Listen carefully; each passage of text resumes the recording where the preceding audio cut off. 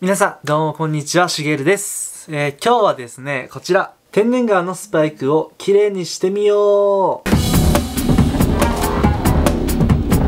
ということで、ナイキスーパーリゲラ。僕が中学校1年生の時に履いてたこちらのスパイクなんですけど、ちょっとね、今僕、とある計画をしていまして、ちょっとこう、綺麗にして部屋に置きたいなと思っているんですけども、早速始めていきましょうはい、ということで、あの、準備が整いました。用意したのはこちら。こちら、水と靴磨きのシャンプー、ブラシ。まずですね、そのスパイクを磨いていく作業をしていきたいと思います。靴紐をね、取っていきます。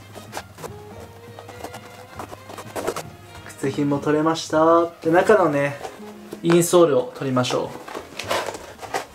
う。はい、じゃあそれでは、もう早速ね、スパイクの方、磨いていくんですけどまずねブラシにシャンプー垂らして泡立てる前にスパイク自体をね濡らしちゃいます。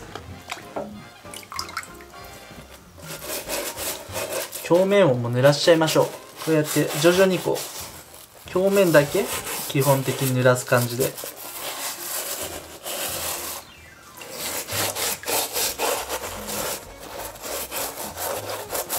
したら次に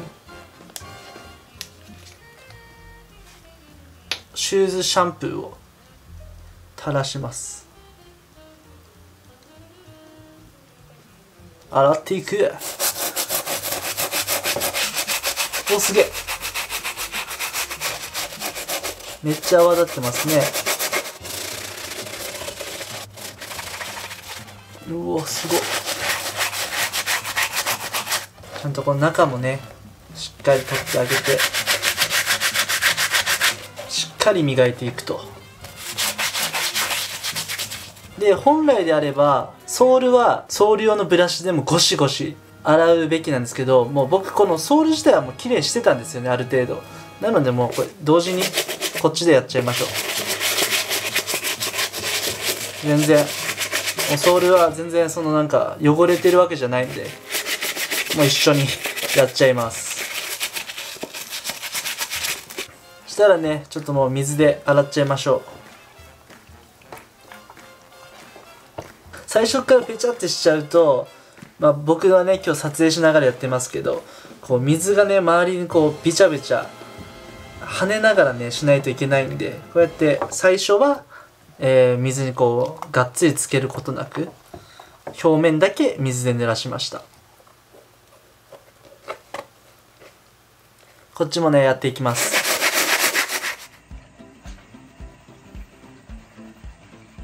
はいそしたら次に乾いた布でねしっかり水分を拭き取りましょう。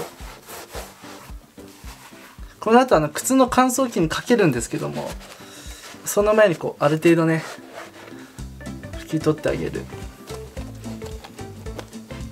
内側もねしっかり水分拭き取っていきましょう。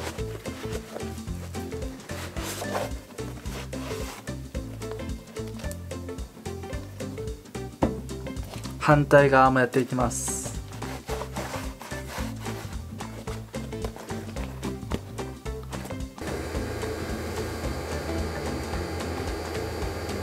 乾燥したので次にクリームを塗って質感を出していきます。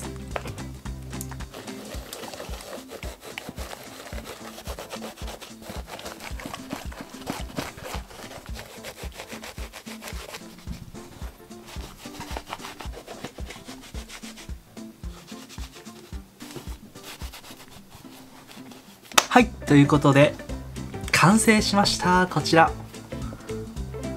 購入してから13年経ったとは思えない美しさというか。これやばくないですかこれ。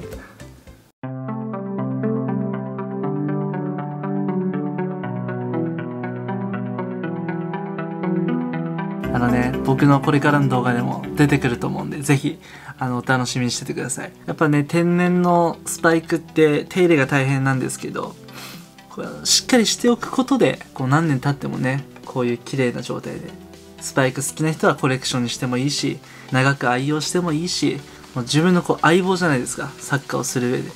まあめんどくせえなっていう日もあるんですけどしっかり手入れをやっていくと。皆さんスパイク大切にしていきましょう。ということでナイキ初代スーパーリゲラのお手入れ動画でした。